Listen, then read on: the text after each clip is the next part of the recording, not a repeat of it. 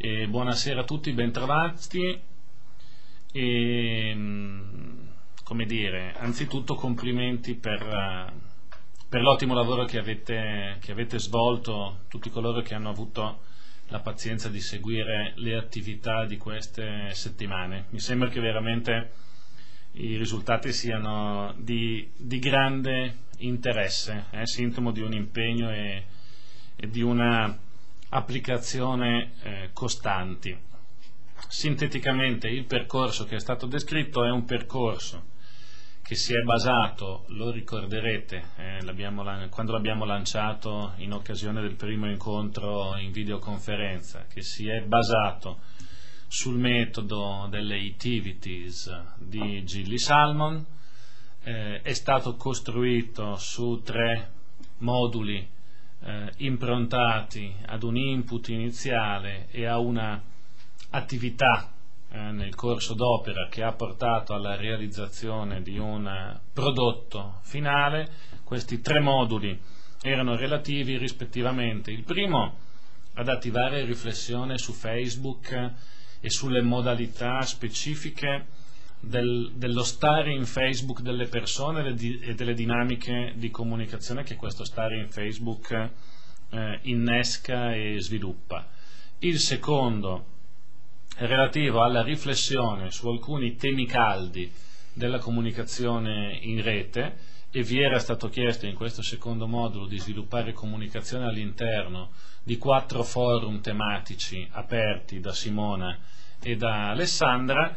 L'ultimo eh, modulo vi eh, proponeva invece di immaginare una microprogettazione, la realizzazione di un piccolo eh, progetto a partire da uno dei temi che erano stati indicati come sempre relativi all'argomento eh, generale eh, del, del, corso, un progetto che poi vi veniva chiesto di postare e l'avete fatto, sarà eh, analizzato, anzi l'abbiamo già analizzato e, vi sarà restituito individualmente con un feedback personalizzato per ciascuno di voi.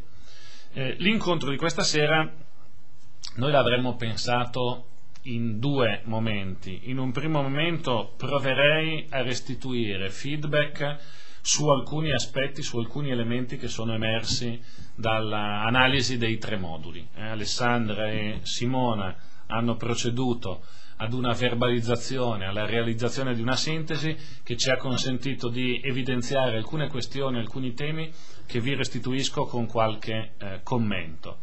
Nella seconda parte della serata, anche a partire eh, da questa mia prima restituzione, apriremo lo spazio a interventi vostri, osservazioni e richieste di chiarimento, di approfondimento che dovrebbero consentirci di giungere a chiudere questo nostro percorso. Eh, in conclusione sarà Giovanni Silvestri, il presidente UECA, a prendere la parola per darvi il suo saluto e per lanciare il prossimo corso tenuto dal professore Andrea Tomasi dell'Università eh, di Pisa. Ecco, la restituzione individuale, personalizzata eh, del feedback sul vostro progetto, Simone e Alessandra la eh, realizzeranno entro la prossima settimana. Eh, quindi il corso si conclude ufficialmente questa sera.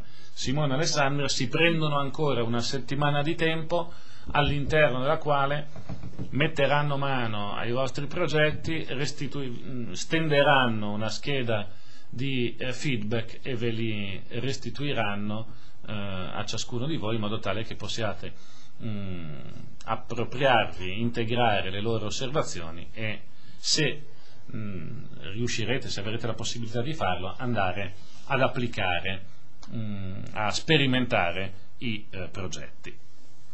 Attivo allora, avvio allora la prima parte del nostro incontro provando a restituirvi la nostra sintesi sulle questioni eh, aperte dai tre moduli. E, con ordine, eh, partirei da qualche considerazione relativa alla esercitazione di analisi di Facebook che vi era stata proposta. Ehm, le raccolgo queste osservazioni attorno a tre indicazioni eh, di, di, lavoro. Prima indicazione di lavoro. Eh, mi sembra di poter dire che emerga molto bene eh, dalla vostra discussione che Facebook funziona come un marcatore di personalità. Mm? Che cosa intendo dire? Intendo dire che in maniera molto opportuna dalla discussione che avete prodotto si evince come l'identità, chiamiamola così, virtuale o sociale eh, delle persone si collochi in perfetta continuità con la loro identità reale. Mm? In buona sostanza mi pare di poter dire, dalla vostra analisi risulta che in Facebook tendenzialmente non si bara, si è quelli che si è nella vita normale, nella vita di tutti i giorni, eh, facendo saltare, scardinando così quella eh, scansione un po' troppo artificiale, un po' troppo forzata, cui ancora spesso si ricorre tra realtà reale e realtà eh, virtuale, che quindi mi pare di poter dire, dalle vostre analisi, eh, sembra decisamente superata. Eh? Quindi Facebook come marcatore di personalità è una prima indicazione che emerge dalla vostra analisi.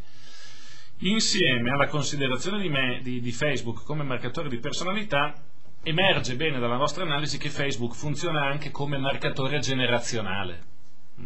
Lavorando sulle identità eh, in Facebook si colgono molto bene le distanze tra le generazioni o meglio, si coglie subito qual è l'elemento comune tra le generazioni ed è il linguaggio, il ricorso ad un, ad un gergo molto informale che pare essere trasversale a giovani e adulti, ma è l'unico elemento accomunante.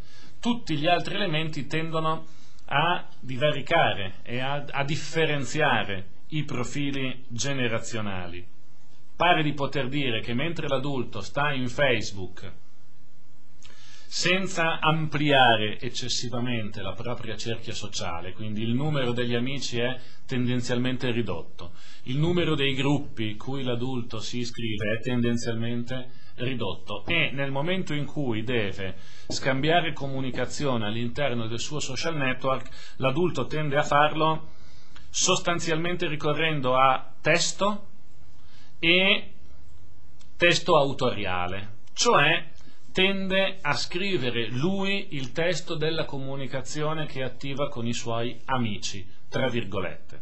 Nel caso del giovane e dell'adolescente le regole del gioco cambiano. Eh, qui prevalgono i link e non i testi e, e prevalgono i link multimediali rispetto al testo scritto. Eh? Quindi i giovani, i più giovani, si esprimono con musica e immagini e si, e si esprimono con musica e immagini che sono linkati da altre risorse collocate nella rete.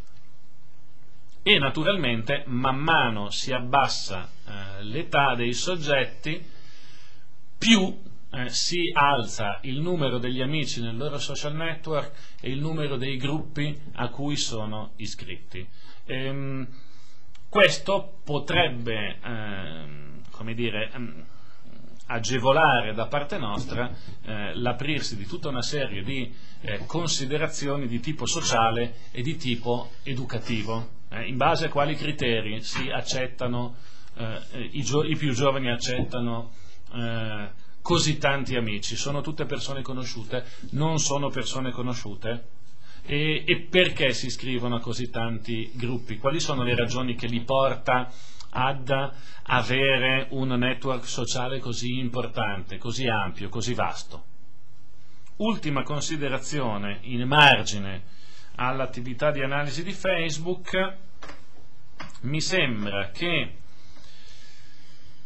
da un po' tutte le osservazioni che sono emerse, occorra adottare alcune istruzioni per l'uso, chiamiamolo così, asimmetrico di Facebook. Quando ad essere in Facebook sono degli adulti e degli adulti educatori come siete eh, voi, accettando amicizia di soggetti minori di età che spesso sono i destinatari del nostro, del vostro intervento educativo. Allora, cosa, il problema è il seguente, che cosa succede quando dentro Facebook, che è uno strumento di comunicazione sostanzialmente orizzontale, simmetrico, pensato per l'attivazione di relazioni tra pari, che cosa succede quando dentro questo tipo di eh, ambiente sociale ci sono degli adulti che attivano relazioni di tipo informale con soggetti ai quali però sono legati da una relazione asimmetrica, come quando io professore accetto l'amicizia di miei allievi, come quando il catechista o l'animatore di oratorio accetta l'amicizia dei suoi ragazzi, come quando il parroco accetta l'amicizia dei suoi parrocchiani e dei suoi parrocchiani più giovani. E qui occorrono alcune attenzioni. Occorrono alcune attenzioni soprattutto perché, mm, come dire, la nostra presenza nel social network possa essere una presenza da testimoni, per parafrasare un termine che negli ultimi tempi va molto di moda, eh? a partire dal, dal, testo del messaggio del Papa sui testimoni eh, digitali. Eh, che cosa succede in, in Facebook? Succede che la struttura, la conformazione dell'ambiente, lavorandoci sopra ve ne sarete accorti, è fatta in modo tale che io condivida con i miei amici tutta una serie di informazioni, anche molto private, anche molto informali, anche molto di retroscena, usando il termine retroscena nel senso tecnico cui fa riferimento Goffman nella sua analisi sociologica, eh? lo stesso termine che avevamo evocato nel primo incontro in videoconferenza quando abbiamo aperto il modulo. Eh? Ci sono comportamenti, immagini, testi, fatti che normalmente noi nella vita reale riserviamo al nostro retroscena. Cioè non tendiamo a condividerli con tutti, li condividiamo soltanto con i nostri amici, ma con gli amici veri, eh? cioè con quelle persone delle quali ci possiamo fidare, eh, rispetto alle quali confidiamo di poter attivare uno spazio di comunicazione che resterà nostro senza essere condiviso con altri. In Facebook questo non è possibile. Se io tengo un album fotografico delle mie fotografie in Facebook, so perfettamente che questo album fotografico è condiviso da chi ottiene da me amicizia in Facebook. E allora se chi ottiene da me amicizia è il mio ragazzino del catechismo o è il mio allievo, io devo sapere prima quali fotografie inserire nel mio album.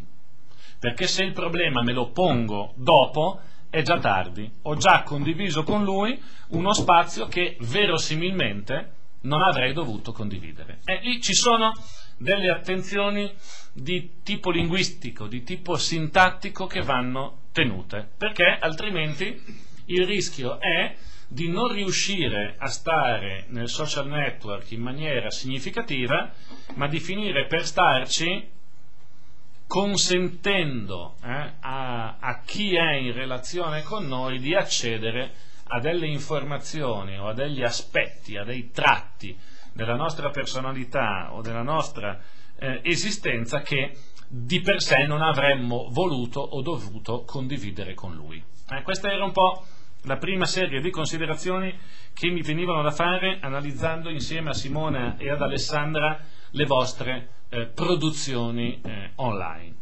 Un secondo gruppo di osservazioni va ad organizzarsi invece attorno alla seconda attività, che era l'attività di forum.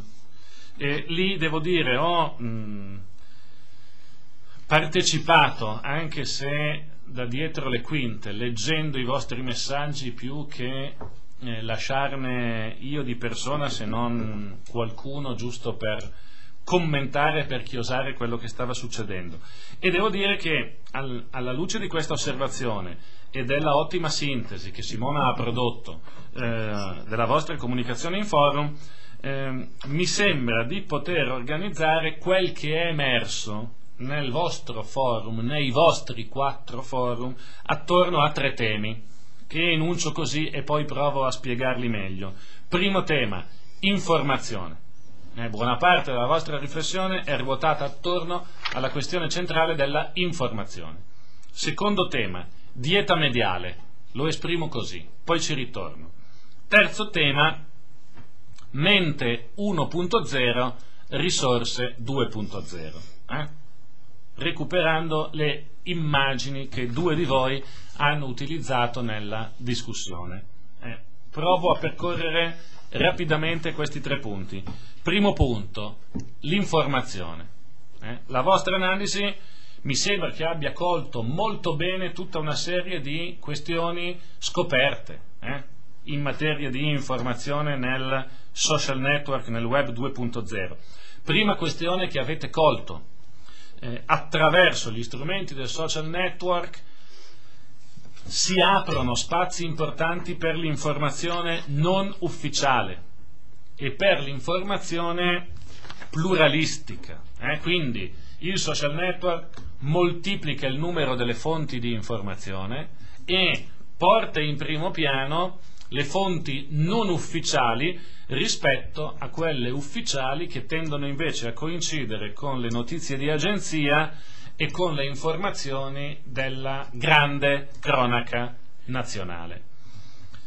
Questo che cosa comporta? Comporta sicuramente un vantaggio per la democrazia, come molti osservatori dicono. Eh? Pluralismo, moltiplicazione dei punti di vista, uguale maggiore libertà di articolazione del pensiero. E questo sicuramente è un aspetto rilevante, soprattutto nella misura in cui questa molteplicità di punti di vista coincide con il punto di vista non ufficiale di qualche osservatore degli eventi in presa diretta. Mm? Ma c'è il rovescio della medaglia che avete evidenziato molto bene, sottolineando ad esempio come nel caso di questa informazione grigia da social network il confine tra il fatto e il commento sia ancora più labile che nel caso dell'informazione ufficiale, dove finisce il fatto e dove comincia il commento interpretativo del testimone, dell'osservatore che me lo restituisce. Seconda questione, secondo problema che avete evidenziato, è il problema della verifica e della gerarchia delle fonti informative visto che le fonti sono non ufficiali, chi mi garantisce che siano attendibili? E una, una volta che io abbia appurato la loro attendibilità, in che rapporto stanno le une con le altre? Eh, chiedersi quale sia la gerarchia delle fonti significa chiedersi dove sta la notizia originaria e quali altre notizie sono ripresa di quella notizia e quali notizie sono riprese della ripresa e così via. Ultima questione che voi evidenziate molto bene è relativa alla necessità di sviluppare nei soggetti, soprattutto nei soggetti in, in, età evolutiva, nei soggetti che stanno ancora formando i loro quadri eh, valoriali, la necessità di formare eh, la capacità di eh, giudizio critico nei confronti di questi eh, dati in, in ultima istanza ehm, come dire, la moltiplicazione delle fonti di informazione attraverso il pluralismo predispone spazi democratici, ma attenzione, sembrate voler dire, perché? Perché più informazioni vuol dire anche maggiore entropia, vuol dire anche maggior complessità da controllare e non è detto che controllare la complessità sia per forza meglio che avere a che fare con poche fonti informative filtrate.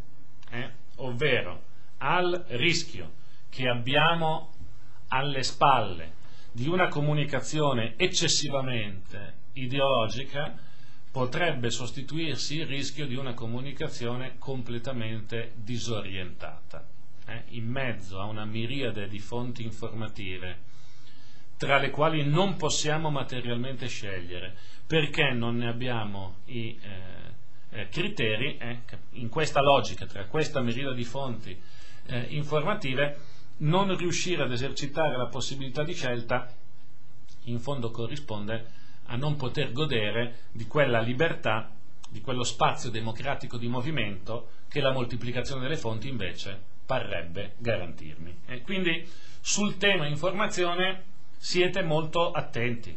Eh, individuate tutti gli aspetti positivi interessanti, ma giustamente, opportunamente, indicate anche il possibile eh, risvolto negativo. Eh, seconda questione, secondo tema, emerso molto chiaramente dal, dai vostri forum è il tema della dieta mediale. Tutti avete riconosciuto che i media digitali fanno parte eh, della vita individuale e sociale dei soggetti, soprattutto dei soggetti più giovani, proprio per questo indicate la necessità di costruire, di abilitare diete mediali equilibrate. Eh? Una dieta mediale equilibrata è una dieta in cui si mangia un po' di tutto. Eh? Per utilizzare la metafora alimentare, soprattutto riguardo eh, ai più giovani, è opportuno in materia di dieta mediale non creare le condizioni né perché diventino bulimici né perché diventino anoressici. Eh? Mm, sarebbe scorretto far sviluppare soggetti anoressici perché mettiamo sotto chiave tutte le tecnologie che sono a disposizione in casa. Eh, ci rifiutiamo di, di comprare loro eh, un telefonino, non abbiamo la televisione satellitare, si fanno scelte drastiche di censura. I media sono tenuti fuori dalla vita dei soggetti. Il risultato anoressia mediale. E anoressia mediale vuol dire privare il soggetto, soprattutto giovane, di molta parte di quegli argomenti che gli servono per socializzare con il gruppo dei pari. Non va bene. È evidente che non va bene nemmeno l'eccesso opposto. Eh, il bulimico multimediale è qualcuno che deve riempire per forza la sua giornata con qualsiasi forma di consumo mediale eh, che anche quando sta mangiando continua a giocare con il eh, Game Boy e, e, tiene l'orecchio al televisore che è rimasto acceso eh, in, in, salotto. E lì occorre intervenire per ridurre eh, drasticamente il suo consumo e soprattutto far capire hm, al soggetto che ci sono altre forme di consumo culturale altrettanto importanti rispetto alle quali forse conviene lasciare spazio, lasciare tempo. Allora, la logica della dieta è una logica di promozione di un equilibrio del consumo. Eh? Eh, occorre eh, promuoverla questa logica tenendo sempre molto ben presente che eh, le pedagogie eh, impositive, le pedagogie eh, dell'obbligo imposto dall'alto senza motivazione non funzionano, occorre, come dice Merieux, percorrere la strada delle pedagogie del contratto, no? delle pedagogie negoziali. Eh? Pedagogie del contratto, pedagogie negoziali che provano a far uscire fuori la dieta da una contrattazione condivisa, ad esempio all'interno della famiglia. Eh? Se la soluzione è condivisa, se la soluzione esce da una negoziazione che ha visto per protagonisti i genitori e i ragazzi insieme, state pur tranquilli che quella dieta sarà assunta e fatta propria dal ragazzo che la seguirà con scrupolo. Non così se gliela imponessimo. Terza questione, terzo punto, mente 1.0 risorse 2.0. Eh, che vuol dire che cosa? Vuol dire che avete colto benissimo un aspetto estremamente interessante. Le risorse possono essere 2.0, ma se la mente è ancora 1.0, il rischio di usare risorse 2.0 come se fossero 1.0 è forte. E quindi diffidate della capacità dello strumento di modificare i vostri quadri mentali. Sono i quadri mentali che devono modificarsi per poter utilizzare lo strumento secondo le potenzialità che gli sono proprie. E vengo al terzo punto che riguarda la redazione dei vostri progetti, l'ultima delle tre attività previste dal modulo. Qui lavorandoci sopra con Alessandro e con Simona ci sembra di aver individuato quattro parole chiave attorno alle quali i vostri progetti si possono aggregare e sono cittadinanza, condivisione, motivazione, comunità. Mm? E sono altrettante parole programmatiche. Eh, sono altrettanti modi di pensare la tecnologia a supporto dell'attività didattica ed educativa nei nostri ambienti. Cittadinanza, condivisione, motivazione, comunità. Queste quattro parole chiave ci sembra che le abbiate declinate secondo due tipi di approccio, un approccio più strumentale e un approccio più critico. Provo a fare un esempio per farvi capire meglio. Il tema della cittadinanza, o meglio, il tema dell'uso delle tecnologie, delle nuove tecnologie, dei media digitali per la costruzione della cittadinanza si può intendere in senso strumentale come un'operazione di riduzione del divario digitale. Eh? Consentire a tutti l'accesso alle tecnologie, quindi spiegare a tutti gli alfabeti di base che consentano loro di accedere alle tecnologie significa costruire la cittadinanza attraverso un approccio strumentale. Spiego i linguaggi, spiego gli strumenti tecnici. Ma la costruzione della cittadinanza passa anche attraverso la elaborazione di un approccio critico.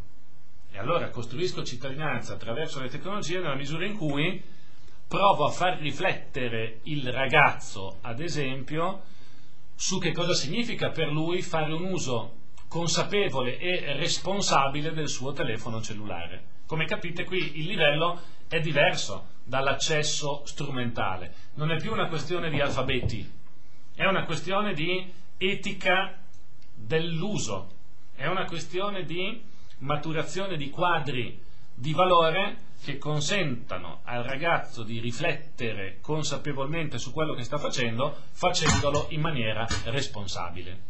Lo stesso tipo di lavoro vale per gli altri tre termini. Anche la condivisione io la posso immaginare in termini strumentali, creando uno spazio perché ci sia condivisione o in termini critici, eh, lavorando a sviluppare una cultura della condivisione. Eh, uno di voi ha costruito un progetto molto interessante su come attivare eh, un corso per fidanzati in Facebook, ad esempio. Quindi generando dal punto di vista strumentale uno spazio di condivisione perché i due fidanzati possano descrivere il loro percorso. Come molti progetti riportavano il tema della condivisione declinandolo nel senso del rapporto tra le generazioni. Eh? Quindi Facebook, il social network, un blog come spazio per consentire alle generazioni di parlarsi, di condividere elementi comuni, di eh, condividere eh, linguaggi. Vale la stessa cosa per la motivazione, moltissimi hanno individuato nelle tecnologie una opportunità per rendere l'apprendimento più motivante, più interessante. Da ultimo il discorso della comunità. C'è uno dei vostri progetti che è stato immaginato come un eh, progetto di attivazione di una comunità religiosa grazie alla mediazione di una piattaforma e-learning. Si può costruire comunità nella comunità attraverso uno strumento di social networking, questo è il punto. Ecco, mi sembra che siano quattro belle prospettive di lavoro e che sia altrettanto chiara la individuazione dei due approcci, strumentale, critico, con alcune attenzioni e su queste tre attenzioni, su queste tre istruzioni per l'uso, chiudo la mia restituzione e giro a voi la parola per qualche domanda o per l'attivazione eh, di qualche approfondimento. Ci siamo accorti percorrendo i vostri progetti che forse non tutti hanno ben chiaro il concetto di tecnologia 2.0. Mm? In qualche progetto eh, sembrava che diceste ah benissimo bisogna utilizzare tecnologia 2.0 e poi ci si accorgeva che veniva definita tecnologia 2.0 magari la posta elettronica piuttosto che un forum o una chat che tecnologia 2.0 non sono eh? richiamo il concetto di tecnologia 2.0 che con Tim O'Reilly indica quella, tecno- quella tecnologia caratterizzata dal fatto di essere tutta nel web. Eh? O'Reilly dice la piattaforma è il web nel caso della tecnologia 2.0. Vuol dire cioè che è tecnologia 2.0 quella tecnologia che mi consente di non avere nulla se non il browser sul mio computer. Tutto il resto è in rete. Sono in rete i contenuti ed è in rete il software attraverso il quale accedo, costruisco e condivido questi contenuti. Quindi è tecnologia 2.0 un blog, è tecnologia 2.0 un wiki, sono tecnologia 2.0 tutti gli ambienti di social networking, compresi i servizi contenuti nella suite di Google. Tendenzialmente ricade ancora nella logica della tecnologia 1.0 tanto la chat quanto il forum. Mm? Nella misura in cui di solito sono resi disponibili all'interno di una piattaforma, la quale piattaforma è residente su un server e ormai in maniera limitata eh, di solito prevede l'utilizzo di un client per accedervi. Seconda sottolineatura, l'importanza dell'extra scuola. Eh? Eh, buona parte delle vostre progettazioni si sono orientate in maniera decisa o verso la famiglia come ambiente di progettazione o verso la scuola. Tenete presente che esiste anche l'extra scuola. Eh? Mi sembra che questi tre ambienti, scuola, extra scuola che per i nostri ambienti vuol dire sostanzialmente oratorio e famiglia siano ambienti da eh, concettualizzare come spazi di presenza, ciascuno con il suo particolare significato. Eh? La famiglia, per dirla ancora con, con Meirieu, come eh, eh, spazio all'interno del quale si afferma il principio d'origine, e il principio d'origine a che cosa allude? Allude al valore generativo della famiglia. Eh? La scuola, come spazio all'interno del quale si afferma il principio di verità, e quindi la scuola come spazio della, della relazione magistrale. Hm? l'oratorio come spazio all'interno del quale si afferma e gioca il principio di carità. E qui la relazione non è tanto di magistralità o di generatività, caso della famiglia, caso della scuola, quanto piuttosto una relazione di testimonianza o di missionarietà. Eh, insomma, la famiglia come spazio della generazione e quindi dell'essere la scuola come spazio della magistralità e quindi della conoscenza, l'oratorio, l'extra scuola come spazio della carità, quindi della missionarietà, quindi della maturazione di un'idea vocazionale sulla propria esistenza, sulla propria vita. Ciascuno di questi tre ambiti credo che meriti attenzione in modo particolare il terzo, perché? Perché soprattutto sui temi della, dei media digitali e del social network consente all'animatore, al catechista, all'educatore margini di manovra che l'insegnante in scuola non ha e che il genitore in famiglia non riesce ad avere. Sono margini di manovra eh, consentiti dalla posizione, dire, laterale di affiancamento che l'educatore può assumere rispetto al ragazzo. una posizione laterale che all'insegnante di solito non è consentita e che il genitore fa fatica ad assumere. Ehm, per dirla con Don Bosco, quindi l'animatore di oratorio è nella posizione migliore per sussurrare la famosa parolina nell'orecchio al ragazzo. È quella parolina che detta en passant, senza che abbia apparentemente un peso, un valore significativo, lascia traccia in profondità ed orienta. Quindi nella progettazione richiamerei l'importanza strategica dell'extrascuola, soprattutto nella nostra congiuntura socio-culturale. Ultima sottolineatura, ultima eh, indicazione per l'uso, istruzione per l'uso, potremmo compendiarla in una domanda. Che cosa spiegare ai ragazzi? Che cosa dobbiamo spiegare ai ragazzi? Eh? Eh, se le competenze mediali automatiche, meccaniche, le skills, eh, l'abbiamo già detto molte volte, paiono essere autoalfabetizzanti, hm? probabilmente non è quello che i nostri ragazzi si aspettano da noi adulti, da noi educatori. Eh? Eh, se si tratta di spiegare loro come entrare in Facebook e, e quali siano le funzioni principali di Facebook, meglio risparmiarsi la fatica. Quelle funzioni sono autoalfabetizzanti, soprattutto per questi ragazzi che hanno una grande dimestichezza con queste tecnologie. E allora il cosa spiegare è probabilmente qualcosa che ha a che fare con i livelli più alti della competenza con la competenza critica e con la competenza che dice del saper gestire in responsabilità, con responsabilità, questi strumenti. Allora, dagli skills, dalle competenze tecniche alle competenze critiche, alla capacità di gestire in maniera responsabile la comunicazione con questi strumenti, questa mi sembra essere la scala eh, di eh, livelli da, da provare eh, ad applicare nei nostri eh, percorsi.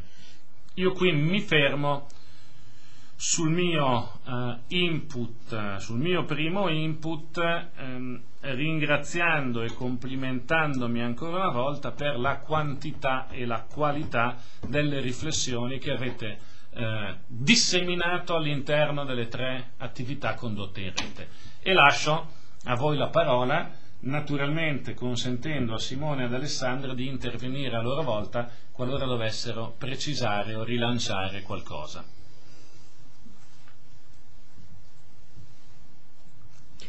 Allora, mm, le domande sono molte, le, le, suggestioni anche, io raccolgo così intanto poi abbiamo tempo di um, raccogliere proprio le ultime che stanno piovendo in, um, veramente dalla, dalla, dalla rete, sulla chat. La prima, eh, il testimone deve essere vero, non una maschera, deve condividere la vita vera, non una sua immagine edulcorata, rispetto al fatto che l'adulto in Facebook deve comunque farsi testimone. La seconda, eh, anzi la domanda mh, mm, che invece mh, mm, arriva mh, mm, proprio all'inizio della nostra conversazione, quale può essere un modo per modificare i quadri mentali e adattarsi al 2.0? A questo si eh, lega anche un'altra osservazione, servono sacerdoti 2.0 allora, per avere una chiesa 2.0, non è solo l'insegnante a dover essere 2.0, eh, beh, una bella figura quella del sacerdote 2.0. Ehm, altri sostengono invece la necessità di una rete tra scuola, parrocchia e famiglia, come proposta, chiaramente sarebbe l'ideale forse, se si riuscisse. Ehm, lasciamo un attimo la parola per queste mm, richieste così possiamo raccogliere anche le altre. Benissimo. Sul fatto che il testimone debba essere vero e non una maschera non ci piove. Eh, sono perfettamente d'accordo. Nel momento in cui la testimonianza viene giocata nello spazio digitale occorrerà trovare le forme anche linguistiche perché la testimonianza sia vera, sia autentica. Ehm, l'ultima ehm, richiesta, l'ultima osservazione, occorre allestire reti tra scuola, oratorio e famiglia assolutamente condivisibile. Sapete che in molti contesti territoriali si stanno moltiplicando i cosiddetti patti di comunità. Mm?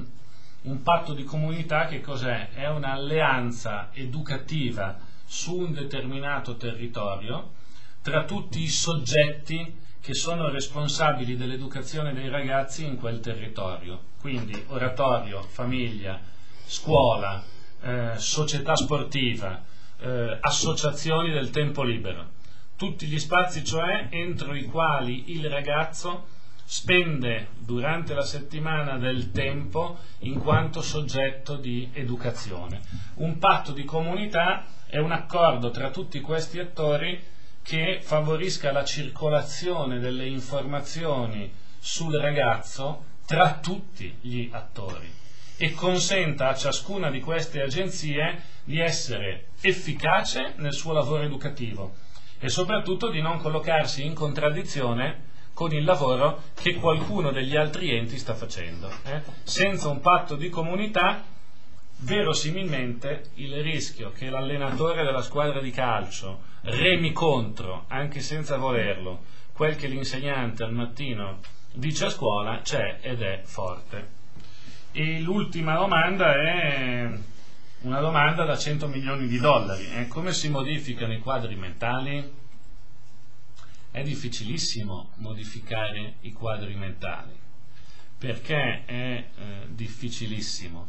Perché tendenzialmente noi lavoriamo per eh, adattamento, mh? Mm? cioè i nostri quadri mentali sono più forti delle nuove esperienze che facciamo e il modo in cui lavoriamo è di prendere le nuove esperienze e di provare in tutti i modi a riportarle a quadri mentali che già possediamo. Questo persino nel caso in cui la nuova esperienza comporti di rimettere in gioco il quadro mentale. Riusciamo a, dire, ad imbrigliare e a modellare la nuova esperienza fino a riportarla al quadro mentale che già possediamo. Molto più difficile accomodare che adattare. Eh, l'accomodamento che cosa comporterebbe?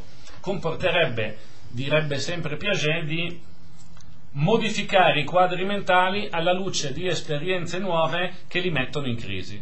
Eh, ma per accomodare bisogna avere più consapevolezza e quindi più libertà di manovra che non per adattare. Adattare è molto più comodo e questo rende ragione del fatto che in tutte le organizzazioni la resistenza al cambiamento e l'assestarsi su posizioni tradizionali sia la norma e credo che anche nella Chiesa a tutti i livelli valga la stessa cosa. Per promuovere il cambiamento occorre spingere moltissimo perché i soggetti siano messi in condizione di accomodare e di non adattarsi.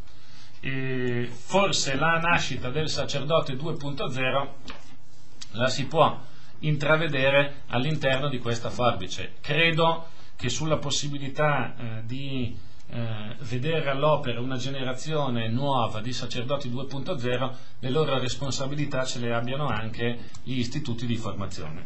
E quindi la costruzione del sacerdote 2.0 dovrebbe probabilmente cominciare già da dentro i seminari, ma qualcosa si può fare anche a livello di formazione eh, continua. Eh? Occorrerebbe immaginarsi tutta una serie di azioni di aggiornamento professionale, chiamiamole così dopodiché sacerdoti 2.0 ce ne sono già in un numero discreto eh, in giro eh, per l'Italia e fanno cose tutt'altro che, che, stupide, anzi di grande rilievo e di grande, e di grande appeal, di grande modernità. Ecco, il, il, problema però è di fare in modo che queste eh, personalità di pionieri sperimentatori possano riuscire a farsi traino anche per eh, i, il grande numero e che, e che quindi il fatto di essere 2.0 possa diventare una caratteristica del sistema e non soltanto la prerogativa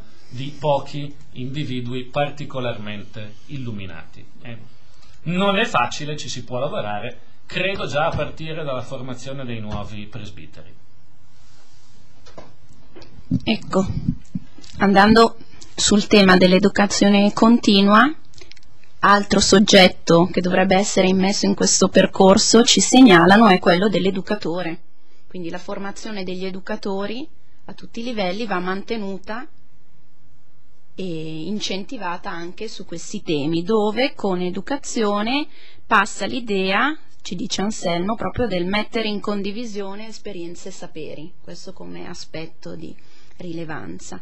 Poi, vabbè, che ci sono già dei sacerdoti 2.0, molti lo dicono dalle loro esperienze e contatti diretti. Venendo un po' ad alcune domande, invece, una prima più di strategie, come far passare i veri valori in un modo accattivante, tramite testimonianze che siano significative anche di un essere 2.0, da una parte, quindi quali strategie per rendere accattivanti eh, l'educazione e i valori. L'altro aspetto più di domanda, più in chiave di domanda, è eh, il concentrarsi sul discorso del testimone invece più su non tanto il soggetto testimone, ma in questo caso l'azione che viene fatta. Quindi occorre pensare a delle strategie di presenza in rete significative che siano guidate da obiettivi dichiarati e sani, tra virgolette, e dall'altra parte quella di un ritorno di queste azioni, di queste strategie dentro il 2.0 anche sulla presenza, quindi un ritorno su un incontro presenziale, reale di, e che sia significativo per educando, educatore in questo caso.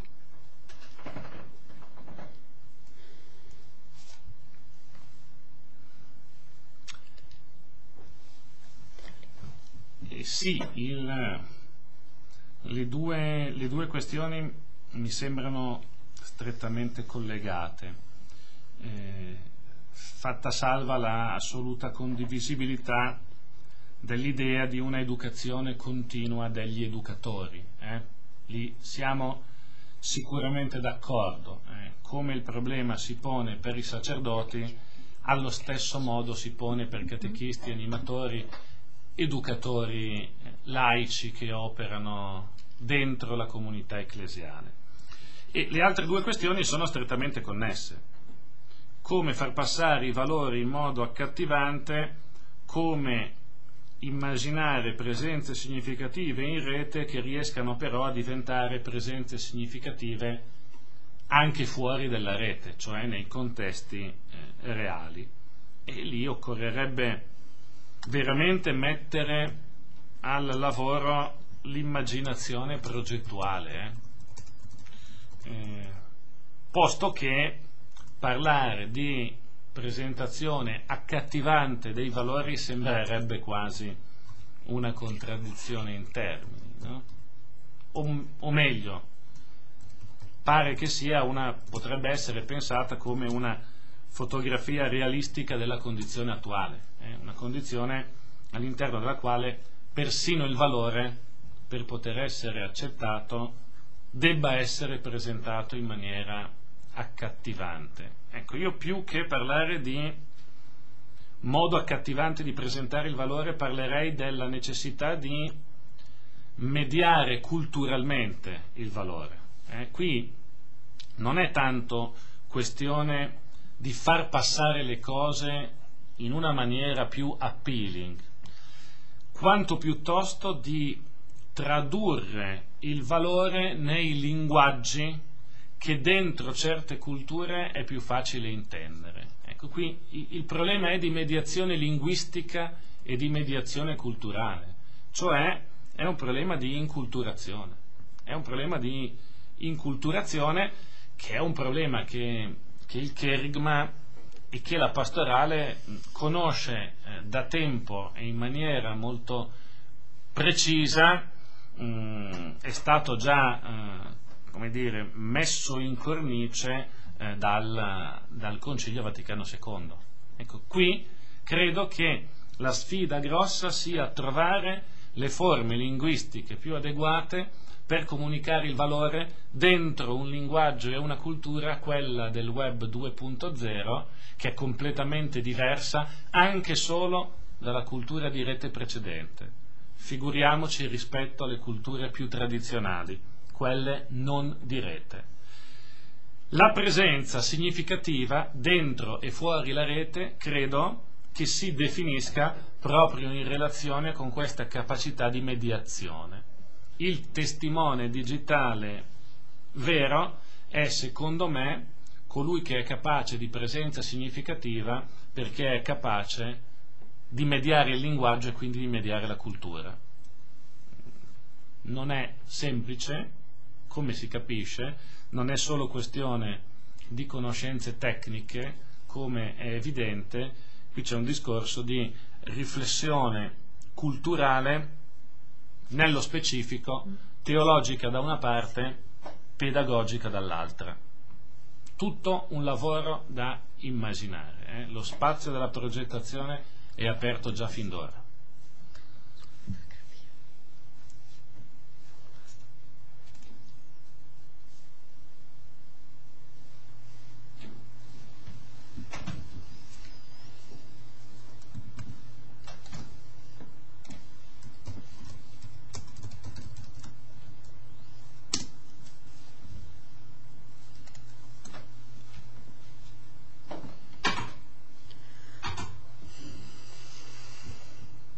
Voi potete rilanciare, credo, eh, Simona, Alessandra, anche restituire qualcosa dal vostro punto di vista delle questioni e dei temi che sono stati proposti all'interno delle attività. Eh.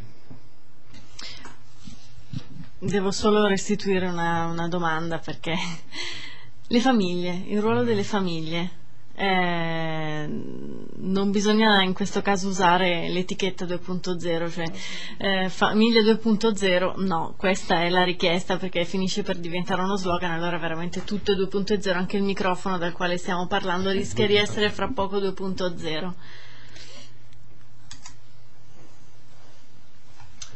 Ma eh, il discorso sulle famiglie eh, rischia di essere lungo. Hm?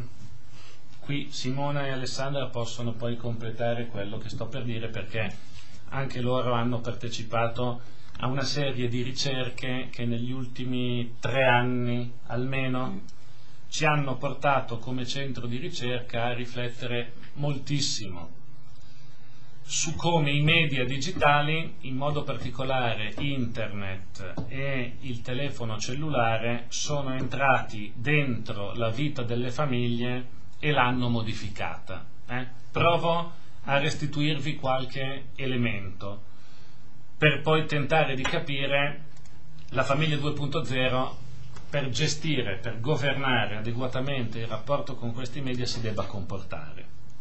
Ehm, un, primo, un, primo, dato, un primo dato.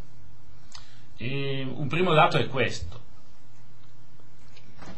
Nel passaggio dal decennio 90 al decennio 2000 si è assistito ad un progressivo spostamento del baricentro del consumo dalla famiglia a fuori la famiglia.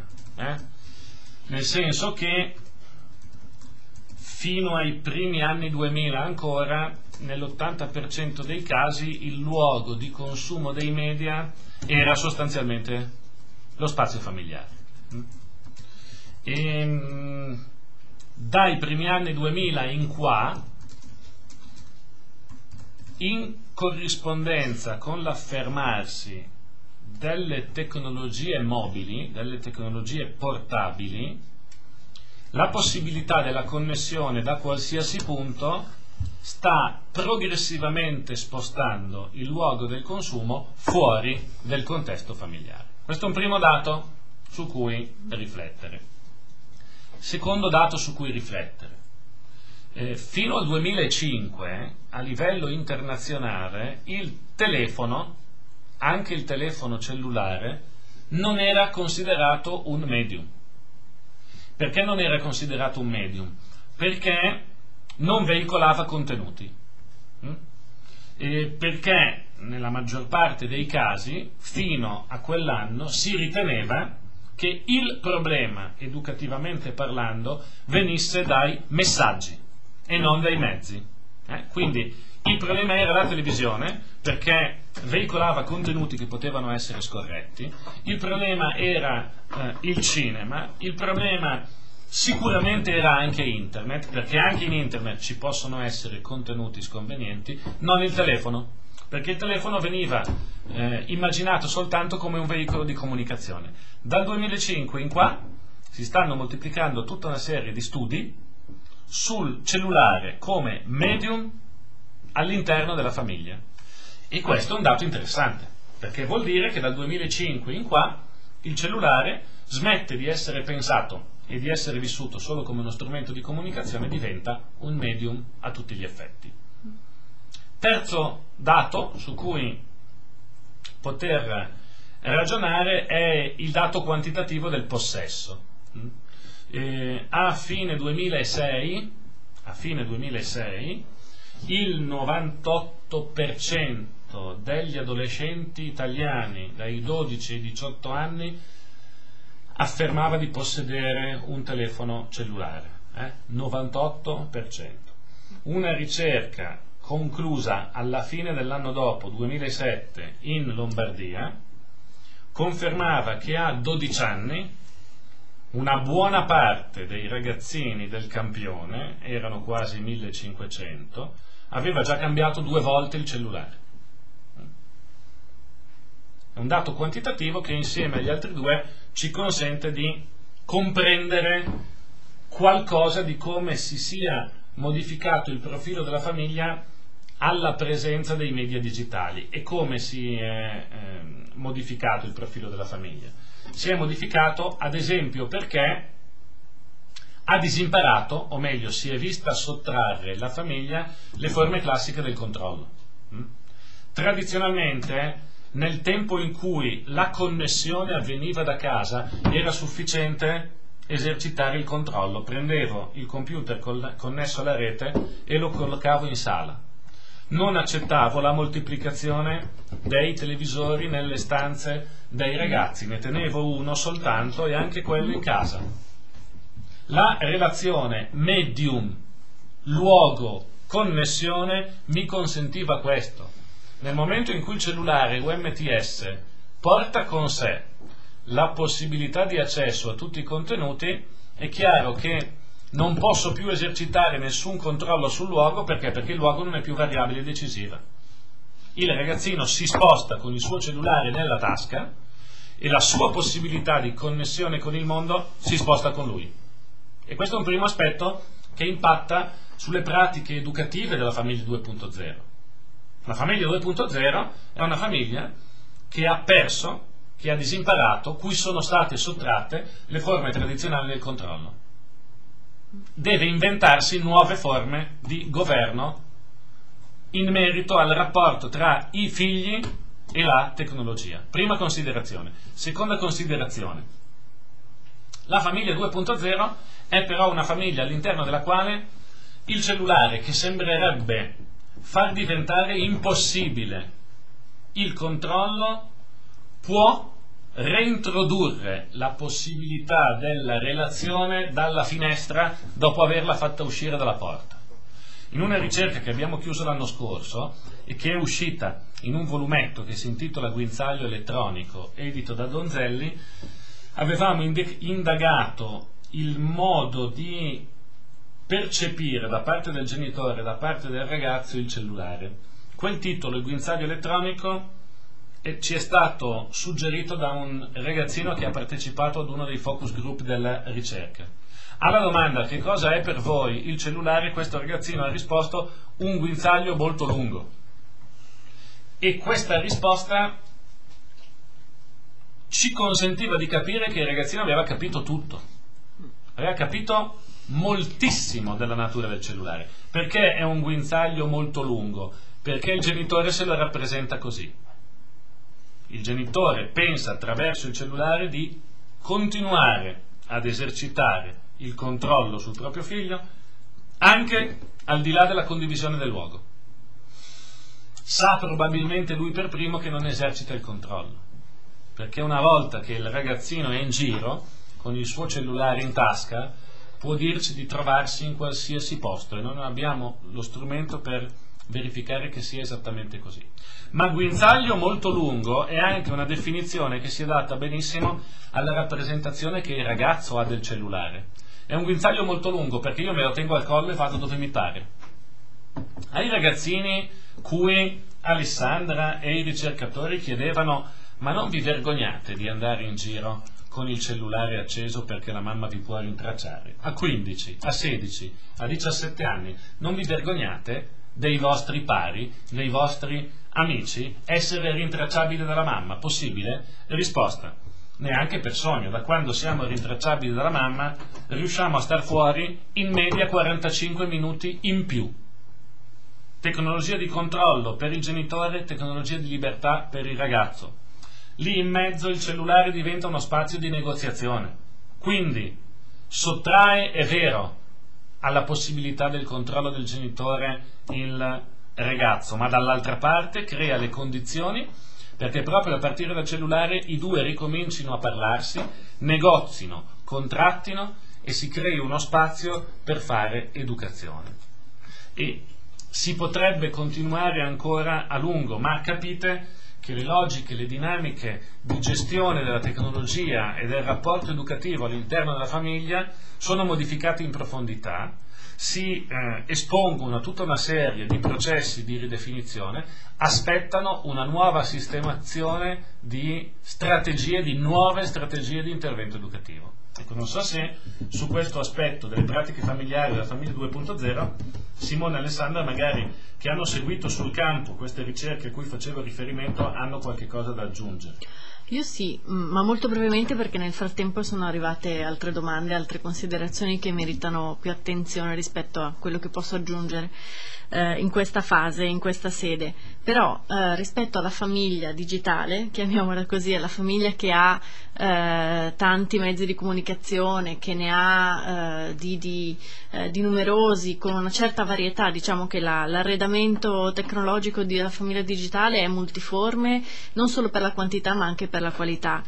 Ma una delle cose che ci ha lasciato la ricerca è proprio questa consapevolezza mh, rispetto alla Mm, possiamo dire, maturità dei, eh, dei, anche preadolescenti, non solo degli adolescenti, che storicamente invece sono considerati eh, poco attenti, non uso le parole di Brunetta Fannulloni perché sono post, però eh, non è ancora il loro, il loro, tempo per essere tali, però superficiali, che, non, che, che hanno eh, più connessioni, che sono in numerosi gruppi e sono in, in, tanti, in, tanti, ambienti di relazione, quindi si potrebbe presumere una certa lettura superficiale. Invece proprio loro ci, ci suggeriscono delle parole che i genitori stessi non hanno ancora eh, ben chiare in testa, forse perché non hanno il linguaggio che dicevamo prima. Ehm, e rispetto al cellulare allora la domanda può essere questa, perché è solo il cellulare a creare questa connessione tra genitori e figli? Perché è il cellulare ad essere effettivamente l'unico spazio di negoziazione? Perché il cellulare è uno strumento che il genitore possiede, quindi geni- il genitore ha del cellulare l'alfabeto base che eh, citavamo sopra ed è proprio per questo che diventa spazio di connessione. Allora penso e pensiamo a tutte le potenzialità di incontro che i nuovi alfabeti, quelli che sono nuovi, nuovi ma che sono ormai eh, masticati da molti, potrebbero portare alla famiglia digitale se solo la famiglia, se solo i genitori mh, iniziassero un, un, percorso in questa direzione, perché chiaramente non è a caso il cellulare, non è solo perché è un guinzaglio elettronico, ma perché lì il genitore si sente forte, eh, so mandare gli, gli, sms, forse mando gli mms, telefonare a telefono, ho questo strumento in tasca così come ce l'ha mio figlio, quindi possiamo in questo caso comunicare. Facebook e altri strumenti invece hanno ancora non solo una, un allure mh, mm, di eh, distrazione, di, non dico perdizione perché ormai sono altri gli spazi di trasgressione, non è più la rete, si è più trasparenti, abbiamo visto, eh, però si ha ancora un'idea di perdita di tempo mentre il cellulare è utile, mh, mm, è per questo anche che genitore lo, lo accetta. eh, quindi è, è, la ricerca che ci, e sono proprio i ragazzi delle ricerche, i ragazzi che incontriamo che ci danno spazio per parlare di questi, di questi argomenti, quindi ehm, superiamo l'idea di, di, adolescenti superficiali e, eh, e senza attenzione, come dire, conosco lo strumento, conosco l'ambiente e soprattutto ho fatto un, um, dire, uh, una, un'analisi attenta dei costi e dei benefici. Il costo è la perdita, diceva il professor Rivoltella, della mia privacy. Il beneficio è però che io posso uscire, posso fare cose, posso entrare in relazione perché questo poi è l'obiettivo, uh, essere in relazione con gli amici sempre più in una realtà aumentata perché di fatto quando tornano a casa chattano, messaggiano con le persone che vedono anche per 5 ore la mattina prima di, di, di entrare in Ehm, in famiglia. Ritorno un attimo sulle domande, visto che ce ne sono ancora qualcuna postata, a parte la preoccupazione anche del rapporto tra comunità ecclesiale e ragazzi mm. nell'ambiente 2.0 che viene richiamata eh, all'attenzione. E, e, poi come cambia il rapporto educativo entrando in questo mm.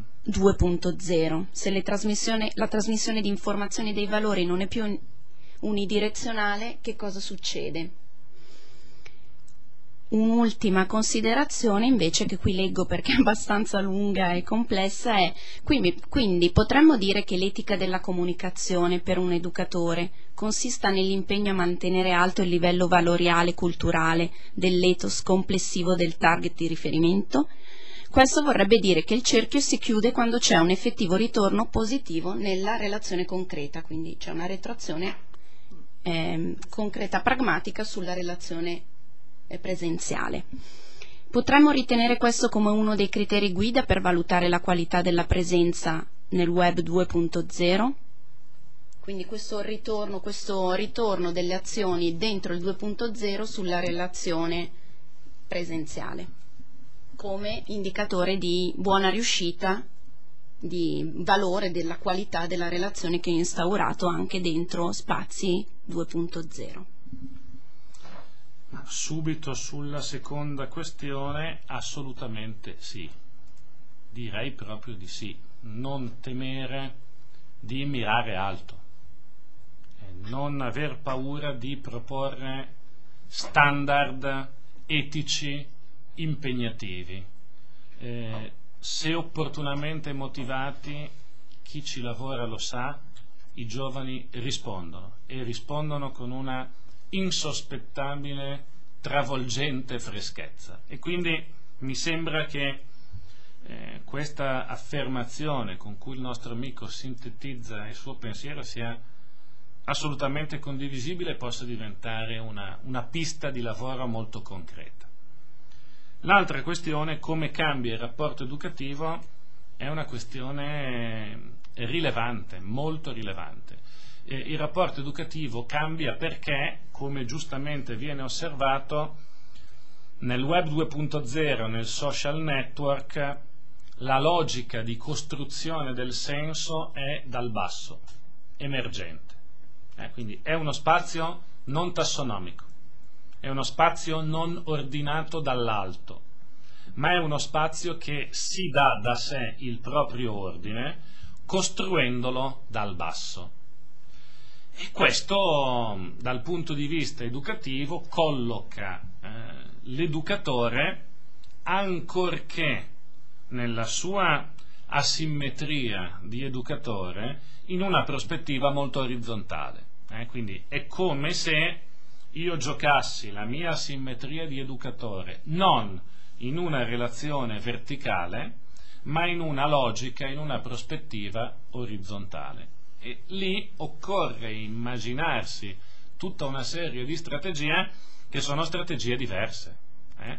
È diverso risultare significativi all'interno di un rapporto che nella tradizione mi riconosceva autorità e me la riconosceva per il semplice fatto di gestire un ruolo, molto diverso da questo essere significativi all'interno di una relazione orizzontale dove questa autorevolezza io me la devo ritagliare perché il mio ruolo magari istituzionalmente non ce l'ha più così forte. Ecco, Se vogliamo sintetizzarla così, è un po' questa la logica che porta l'educatore ad essere educatore al tempo del social network.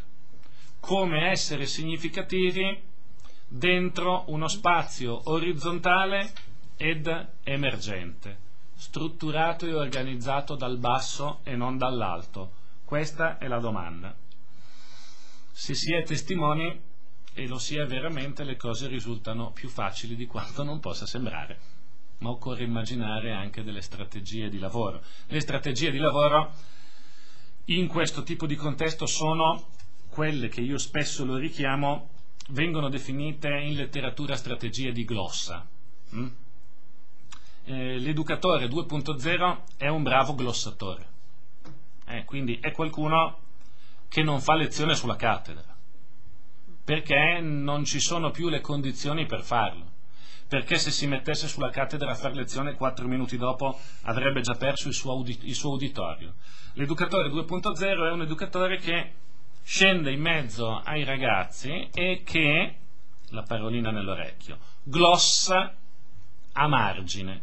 Eh, il glossatore al tempo del, degli scrittori medievali e anche dopo era colui che appuntava le sue note a margine dei testi Ecco, quelle note sintetiche, marginali, eh, apparentemente non rilevanti, sono però quelle indicazioni che risultano fondamentali per comprendere il senso di quello che il testo scrive.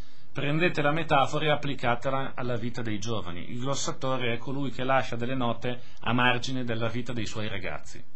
Mentre le lascia sembra essere marginale e sembra farlo in punta di piedi, ma quelle poche note sono quelle che incidono in profondità e è quello che eh, come dire, è iscritto nel senso etimologico profondo dell'insegnamento come insegnare, eh? tracciare dei segni dentro, in profondità. Ecco, quella lì è un po' la logica. Dopodiché bisogna però tradurla in, in metodo provare, cimentarsi, mettersi al lavoro perché non è semplice. Riprendiamo poi alcune delle vostre considerazioni che avete inserito in chat e soprattutto vi rispondiamo alla richiesta di avere qualche indicazione bibliografica, magari riassumendole in un documento che vi pubblichiamo, visto che anche in forum qualcuno ci chiedeva eh, strategie o indicazioni bibliografiche più di taglio educativo legato al contesto della scuola, quindi ve, ve le recuperiamo tutte e le mettiamo in un documento che vi pubblichiamo eh, tra i documenti, tra i materiali del corso così come, lo diceva prima il professor Rivoltella, entro la prossima settimana vi diamo poi indicazioni precise, dei commenti, proprio in chiave molto interlocutoria sui progetti molto interessanti che sono arrivati, anzi qualcuno ruberemo qualche idea per suggerirlo in altri percorsi, visto che sono state anche molto di valore creative poi le attività che sono state pensate. Intanto Sabatino ci dice il discorso del eh, non si può prescindere poi dalla conoscenza del territorio quando ci si rivolge al territorio per evitare quindi azioni disincarnate, come non, ci, non, si può prescindere da una relazione diretta con i ragazzi se si vogliono poi fare interventi di tipo educativo. E aggiungiamo un'ultima eh, notazione che è un rischio che però mh, mm, con attenzione si può evitare, l'avvento dei nuovi media, quelli che vengono definiti cosiddetti new media, eh, ci può portare ad un rischio, ovvero quello di ehm, non prestare più attenzione da un, da un punto di vista educativo eh, rispetto a tutti gli altri media, come dire ci concentriamo solo sul blog perché si parla di blog, perché è tra virgolette di moda, di tendenza o perché è la preoccupazione genitoriale del momento, ci si dimentica di televisione, di radio, di cinema, di altri strumenti che invece fanno parte di un sistema in stretta relazione. È verissimo, questo comporta ehm, l'applicazione del cosiddetto principio ecologico. Eh? Quindi adottare un punto di vista ecologico rispetto ai media, quando si fa educazione sui media, significa avere la capacità di giocare su tutta la tastiera multimediale, e quindi di usare tutti i colori della tavolozza mediale. E, come Sabatino osserva, il rischio è di concentrare l'attenzione esclusivamente sugli ultimi arrivati, eh, solo sui nuovi, sui nuovissimi media.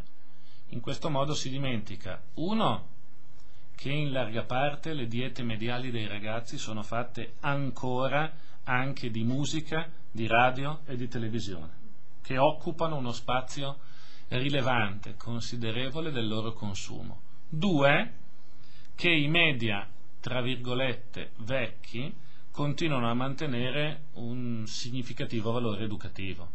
Mm, lavorare sul blog, su Facebook o sugli altri applicativi della rete non significa disconoscere il valore educativo del cinema, ad esempio. Eh? Sarebbe sciocco non utilizzare più il cinema a supporto della catechesi, ad esempio, soltanto perché è meno nuovo del blog o di Facebook.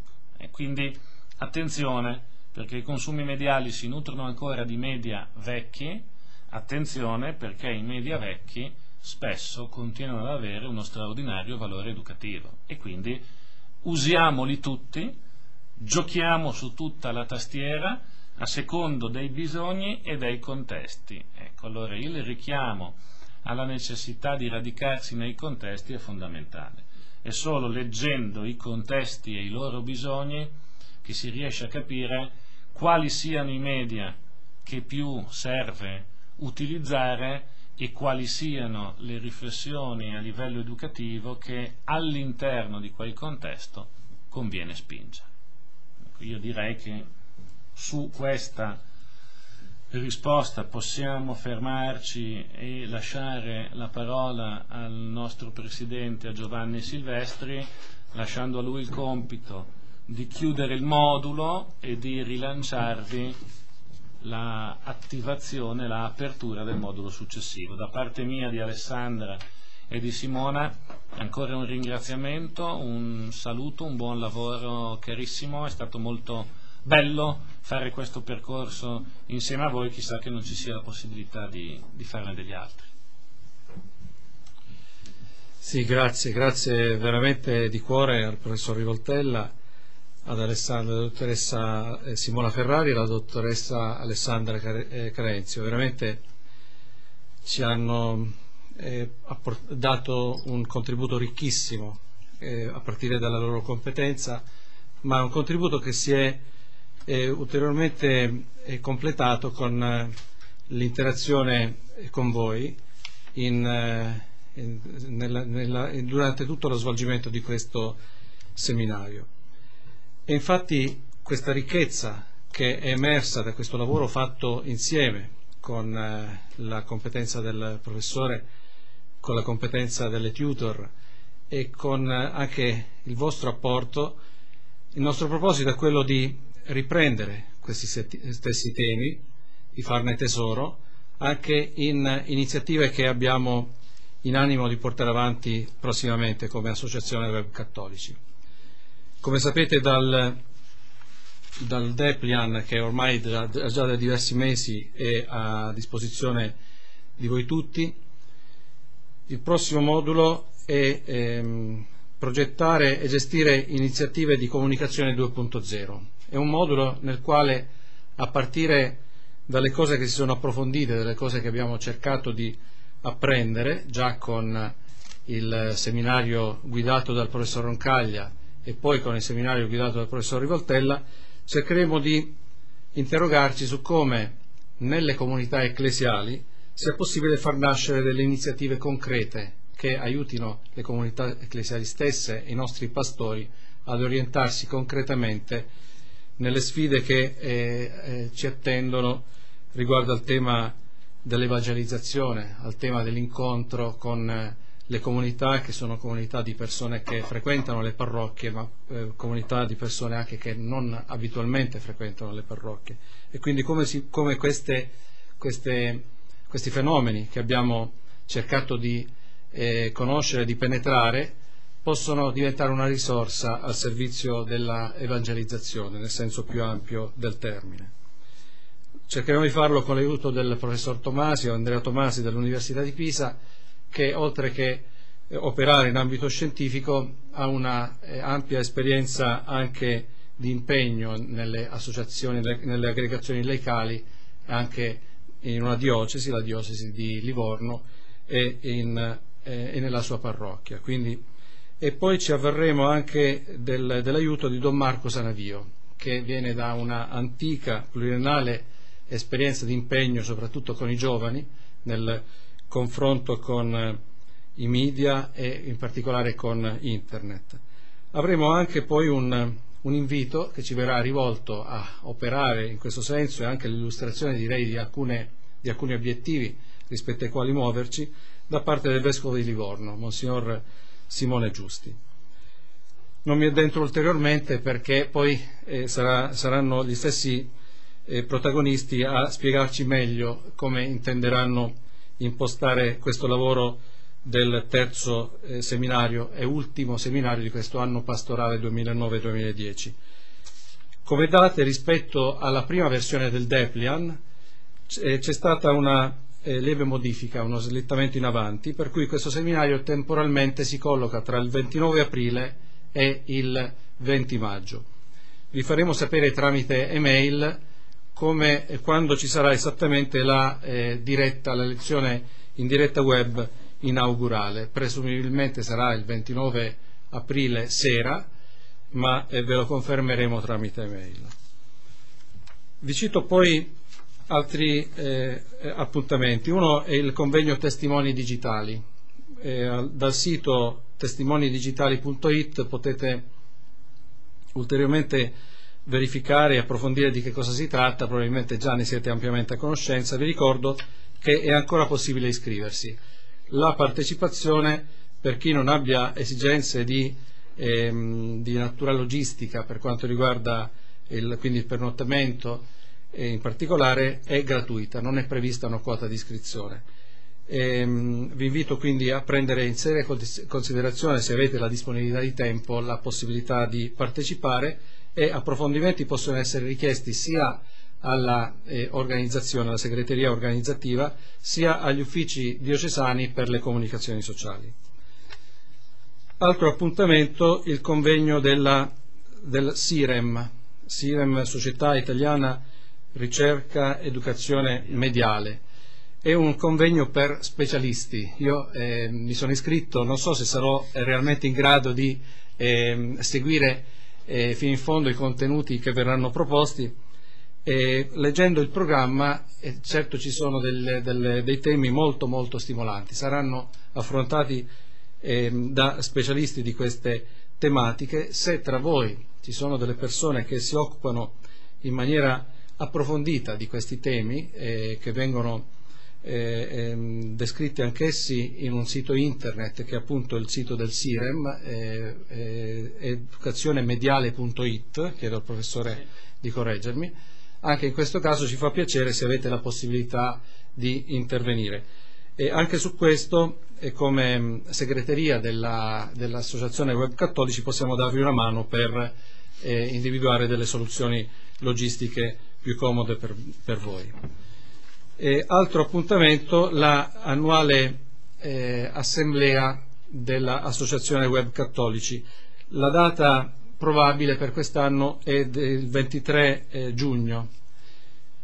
Questa assemblea vorrebbe essere, al termine di questo ciclo di seminari, un'occasione anche di incontro di persone. Ci siamo incontrati attraverso il web, ci siamo, ehm, eh, ci siamo reciprocamente arricchiti di contenuti e posti reciprocamente domande a distanza, vogliamo, eh, riteniamo che sia utile incontrarsi, eh, almeno in una giornata, per ritornare su alcuni temi, approfondirli ulteriormente e anche rispetto a tutti i contenuti cercare di fare sintesi. E rispetto a, poi a questa sintesi, ciascuno di noi poi per le attività che porta avanti potrà eh, al meglio ehm, valorizzarle e trarne le conseguenze.